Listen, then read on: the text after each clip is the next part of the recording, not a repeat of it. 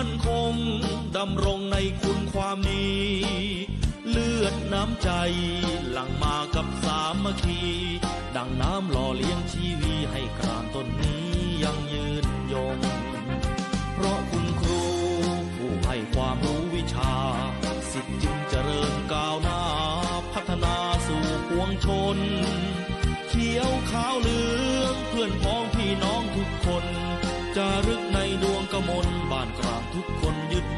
ประเพณีนานหนักไม่เคยค้า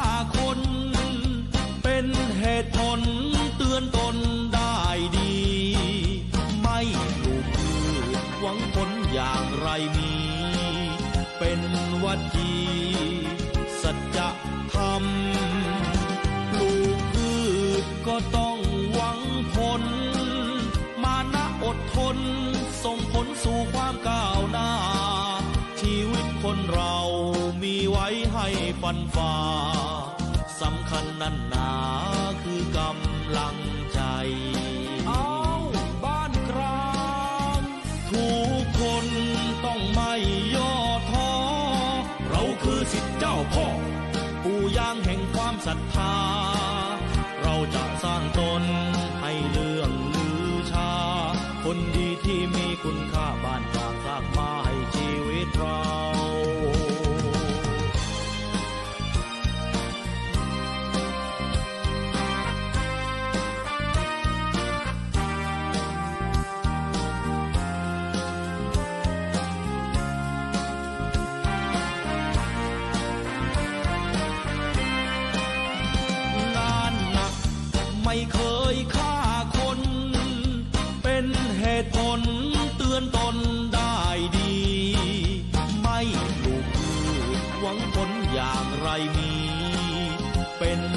ดี สัจธรรมปลูกพืชก็ต้องหวังผล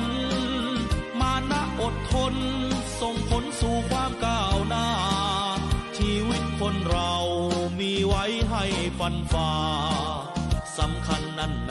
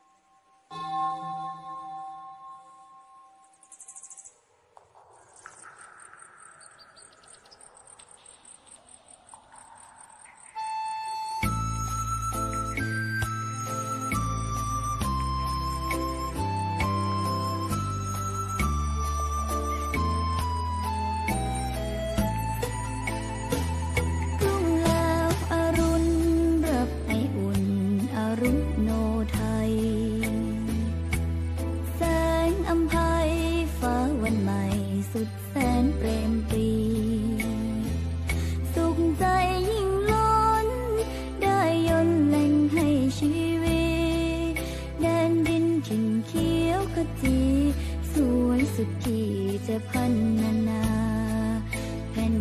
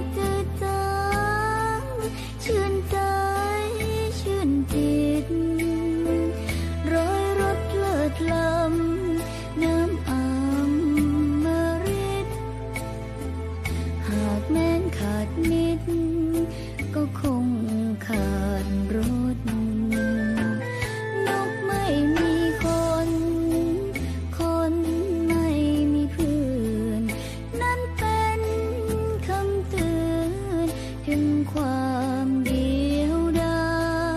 ยสิทธิ์ต้องมีครูไว้เชิดชูบูชา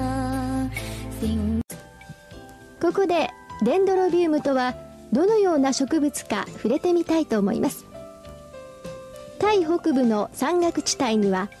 数多くのデンドロビウムが自生しています伸びる系デンドロビウムは 海抜1500メートルから2000メートルくらいの高齢地に自生しています。樹木の枝や枯れ木にでも着生しているデンドロビウムは寒気には時折発生する霧以外にはほとんど水分が得られません。この高齢地では冬には夜間0度近くまで気温が下がることもあります。このような環境のもとにあってもデンドロビウムは傷んだり枯れたりすることはありません。デンドロビウムは乾燥にも強く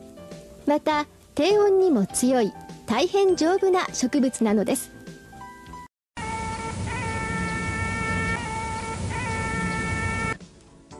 敬虔な仏教徒の多いタイ。そのタイ北部にある第2の都市チェンマイの郊外にある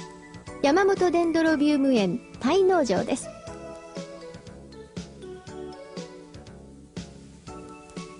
この農場ではバイオテクノロジーによるメリクロン苗生産が行われています。農場というよりむしろバイオ工場といった方がふさわしいかもしれません。ここでは現在年間150万本のメリクロン苗が生産されており EU 諸国をはじめハワイ農場などに出荷されています。最近山本デンドロビウムに対する各国からの注文が急増しておりさらなる増産が求められるようになっています。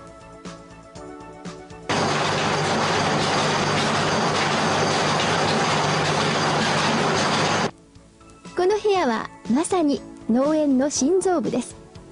この部屋では日本から運ばれてきた新品種のプロトコームをさらにシェーカーを続け大量増殖させるのです。